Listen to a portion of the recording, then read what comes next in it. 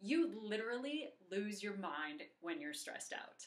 Stress produces a hormone called cortisol that kills cells in our prefrontal cortex. This is the part of the brain that's responsible for decision making, learning, and memory. Basically, the part of the brain that you need to do your job well.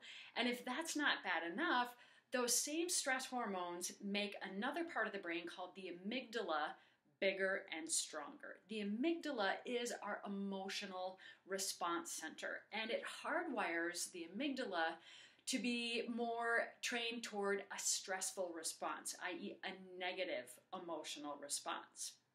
Now, the good news about this is that exercise, and actually almost every form of exercise, has been shown to reverse this damage. That it actually creates new cells in the brain of the in the prefrontal cortex.